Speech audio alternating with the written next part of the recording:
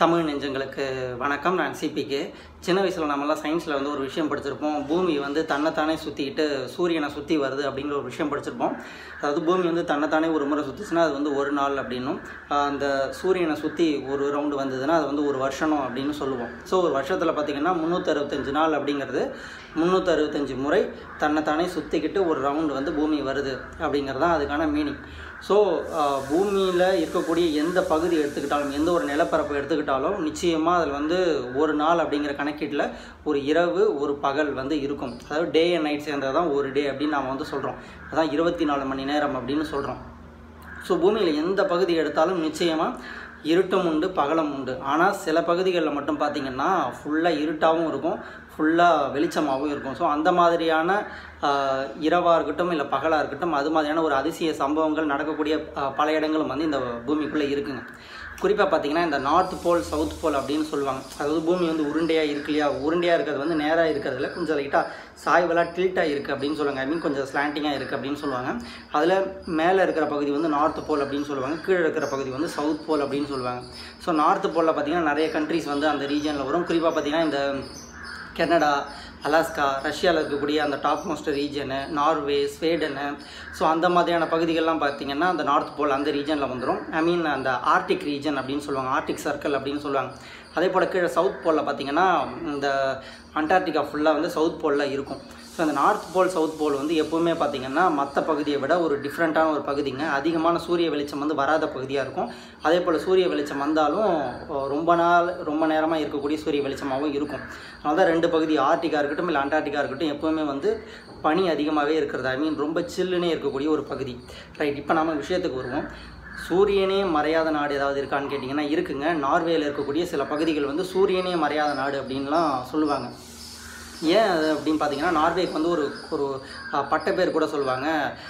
Land of midnight sun அப்படின்னு சொல்லுவாங்க. அதாவது மிட் நைட் சன்னா என்னென்னா நடுராத்திரியில் கூட சூரியன் வந்து எப்போவுமே இருக்கும் அப்படிங்கிறதுனால தான் land of midnight sun அப்படின்னு வந்து நார்வே வந்து பொதுவாக சொல்கிறது நார்வேயில் பார்த்தீங்கன்னா சல்பாத் அப்படிங்கிற ஒரு பகுதி சல்பாட் அப்படின்னு.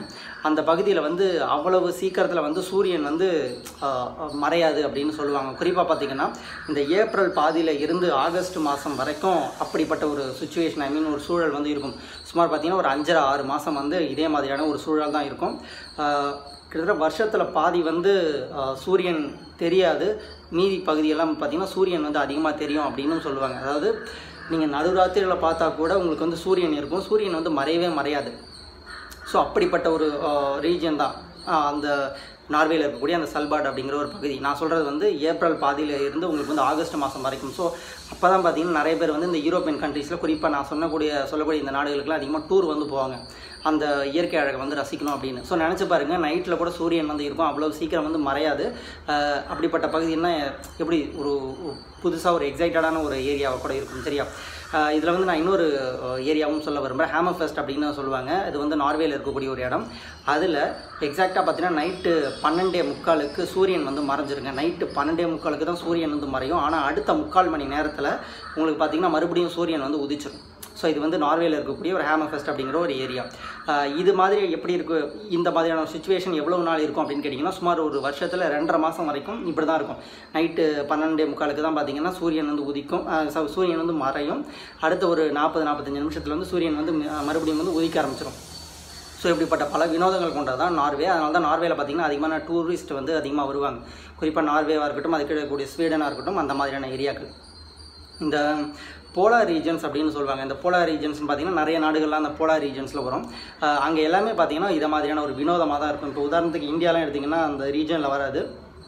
ஸோ இருபத்தி நாலு மணி நேரம் இருக்குது அப்படின்னா நீங்கள் பார்த்தீங்கன்னா பன்னெண்டு மணி நேரம் இரவு பன்னெண்டு மணி நேரம் அளவுக்கு ஒரு வெளிச்சம் ஐ மீன் பகல் அப்படின்னு நாம் வந்து ரெண்டை ஈஸியாக ஸ்ப்ளிட் பண்ணிடலாம். ஆஃப்ரிக்கா அந்த மாதிரிலாம் அப்படி ஸ்ப்ளிட் பண்ணிடலாம்.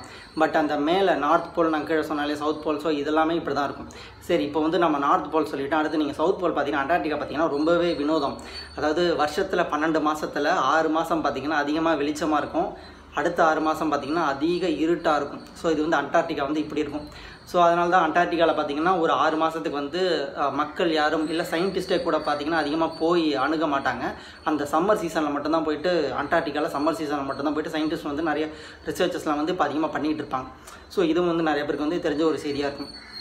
ஸோ நீங்கள் அதிகமாக பார்த்துக்கிட்டிங்கன்னா உலகத்தில் பல புதிரான விஷயங்களாக இருக்கட்டும் இல்லை விசித்திரமான விஷயங்களாக இருக்கட்டும் நிறைய இடங்கள் வந்து இது மாதிரி இருக்குது ஸோ அதில் ஒரு இடத்த தான் நாம் இந்த காணொலியில் உங்களோட ஷேர் பண்ணியிருக்கோம். ஸோ உங்களுடைய கருத்து எதுவாக இருந்தாலும் கீழே கமெண்ட் செக்ஷனில் கமெண்ட் பண்ணுங்கள் நாம் தொடர்ந்து இன்னொரு காணொலியில் பேசுவோம். நன்றி. வணக்கம்.